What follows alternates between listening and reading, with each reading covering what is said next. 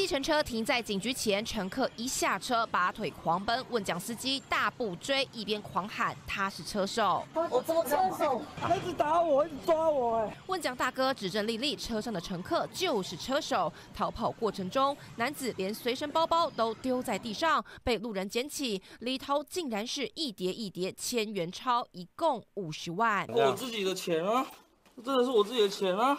这是去哪里领出来的？ATM 吗？ATM，ATM 怎么会用这个绑？明明捆着绑钞袋，还谎称是 ATM 领的。男子连金钱来源都说不清楚，谎言立刻被戳破。而当时眼尖发现的问讲司机，更被形容是电影《我只是个计程车司机》台湾版。虽然不如电影过程枪林弹雨，但问讲说追逐车手过程，对方还朝他喷辣椒水，相当恶劣。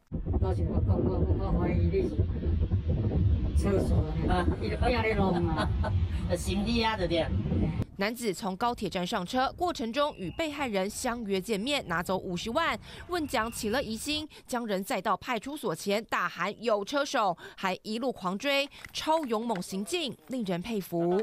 记者廖文梅、李元斌、吴鹏兴，云林报道。海皇鲍鱼干贝 XO 酱里面有严选新鲜的顶级海鲜跟秘制的独家配方，还有富含胶原蛋白，还有粘多糖、低脂肪的高蛋白，肉质鲜嫩，EPA 跟 DHA 的含量更是丰富。现在购买还有优惠哦，输入我的优惠代码 CTI 七四享有折扣哦。